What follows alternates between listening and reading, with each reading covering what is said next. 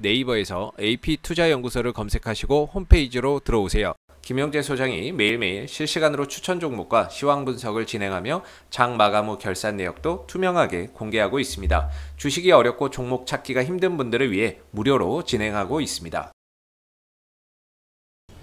반갑습니다. 여러분과 함께 녹십자를 리뷰해볼 AP투자연구소의 전략팀장 이석현입니다. 현재 시간은 2021년 7월 1일 오후 4시, 아니, 저 2시 44분이고요. 종목 코드는 006280 되겠습니다. 영상을 보시기 전에 몇 가지 말씀드리고 싶은 게 있는데, 저는 녹십자를 처음 접하시게 되는 분들을 기준으로 영상을 찍어드리고 있기 때문에, 기존에 저의 영상과 비교해 봤을 때 내용적인 부분이 상당히 일치할 수가 있습니다. 예. 그래서 그 부분 첫 번째로 양해의 말씀 드리고 싶고요. 두 번째로는 기술적인 분석 같은 경우에도 기술적인 상황에 변동이 있게 되면은 거기에 맞춰서 저의 판단도 달라질 수 있기 때문에 그 부분 양해의 말씀 올리면서 영상 시작해 보도록 하겠습니다. 자, 녹십자는 아주 대표적인 제약 어, 주가 되겠는데 굉장히 많은 포트폴 저기 파이프라인을 이제 보유하고 있는 회사 되겠는데 일단은 주가 상황만 보면 이런 식으로 상승 각도가 올라가면서 계속 상승하고 있는 모습이 보여지고 있는데 대세 상승을 한동안 했죠. 그렇지만 그 다음에 하방 압력 받은 다음에 어, 상승 곡도가 이렇게 세 번에 걸쳐서 두 번에 걸쳐서 이제 늘어났다라는 것에 대해서는 그만큼 수급의 강도가 점점 이제 세졌다라는 뜻으로 받아들이시면 되고 지금의 차트 상황은 제가 가장 좋아하는 차트의 어떤 그런 흐름이라고 보시면 될 것 같아요. 일단 어떤 거냐면 쭉 올라가다가 고점 한번 그려주고 밑으로 내다 꽂아서 이런 식으로 상승 비교적 고점 라인에서 이런 식으로 이제 횡보를 그려주다가 이슈 어느 정도 선에서 한번 이슈 받고 딱 위로 올라가는 딱 전형적인 그런 그림이거든요. 그렇기 때문에 이런 부분을 이제 놓고 봤을 때 상당히 좀 추가적인 상승 가능성을 고려해 볼 수 있는 상황이다 라고까지도 이야기해 볼 수 있는 그런 상황입니다. 보시면 왜 그러냐면 보통 이제 하방 경직으로 이제 뚫고 이제 밑으로 내려가지 않습니까? 그러면 두가 두 개의 매도 세력이 존재해요. 하나는 요 밑에서 샀던 사람들, 하나는 요 위에서 샀던 사람들. 여기 있는 사람들은 플러스권이죠. 계속 올라갈 줄 알고 이제 지켜봤다가 이제 하락 곡선 탔지 않습니까? 그러면 팔아야겠다가 나와요. 물론 이제 계속 존버하시는 분들도 있고 두 번째 분들도 마찬가지입니다. 여전히 존버하시는 분들도 있지만 더 물리면 안 되겠다. 팔자. 다른 데 들어가자. 라고 해서 팔고 나오시는 분들. 그래서 이게 밑으로 내려가면 내려갈수록 더 올리기가 어려운 거예요. 이런 식으로 매도 압력이 계속 많이 들어오니까.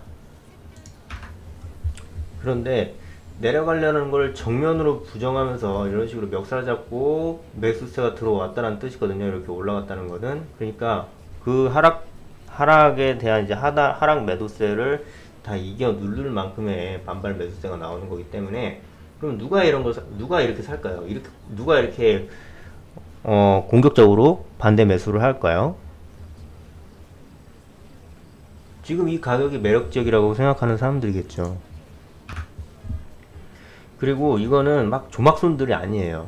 조막손들이 이렇게 대동단결해서 하나의 힘으로 이렇게 밀고 올라간다? 불가능합니다. 이거는 기관이라든지 누군가가 그냥 사는 거예요. 특정 여러 돈을 한 방에 운용할 한 방향으로 운용할 수 있는 무언가가 그렇게 이제 보시면 될 것 같습니다. 그렇기 때문에 아니면 시장적인 consensus가 이 가격은 매력적이다라고 해서 이 저항선, 이 지지선 딱 그려놓고 그 위에서 놀아주든가 그런 상황으로 이제 볼 수 있는 거기 때문에 굉장히 유의미하다라고 이제 볼 수 있겠고 모멘텀 받고 이제 추후에 추가적으로 상승할 수도 있다라고 볼 수 있는 거죠. 지금 상황 보시면 이런 식으로 5일선과 21선 이렇게 있는데 골든 크로스 발생하면서 위로 이제 계속 올라가고 있죠. 당초에는 계속 요 지지선 위에서 이제 껌딱지처럼 붙어가지고 간 보고 있는 모습 보여줘서 어떻게 될지 모릅니다. 이제 최악의 상황을 어, 어, 대비할 수도 있어야 됩니다. 라고 말씀을 드렸었어요. 일단 이제 횡보를 한다고는 말씀드렸지만, 다, 하지만 다행하게도 이런 식으로 장대 매수세 이제 나오면서 이런 식으로 상승을,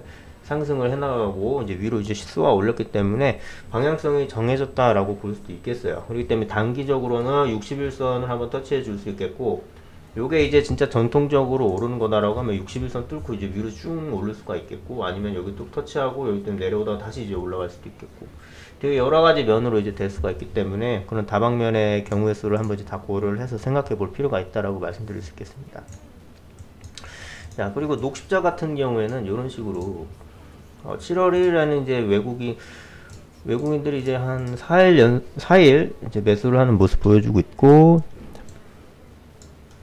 이런 식으로 녹십자 같은 경우에는 5월 3일 날 이제 재개가 됐는데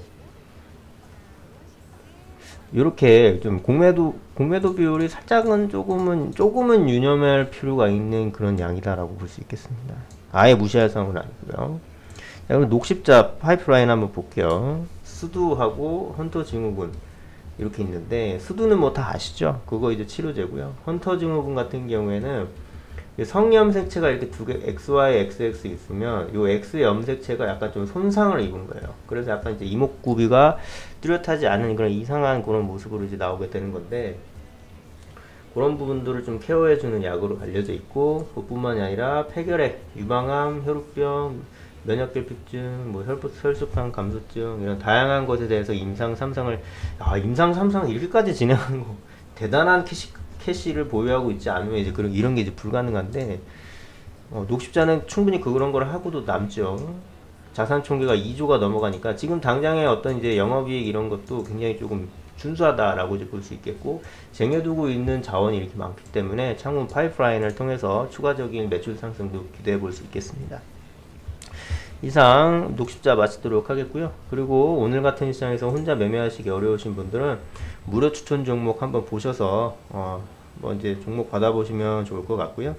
그리고 이제 테마주 검색기라고 있는데 이거 이제 AP 투자연구소가 이제 발매한 이제 그런 어플 되겠는데 이런 거 이제 한번 받아보셔서 공짜감이거든요. 이거 하면 주식 주식 관련 정보 받아보시면 좋을 것 같습니다. 이상 영상 마치도록 하겠습니다. 감사합니다.